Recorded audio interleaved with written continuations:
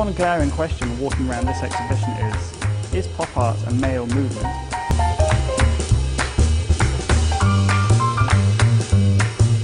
It's always interesting to try and uh, take a new viewpoint on, on the period, which is what we're trying to do with this exhibition.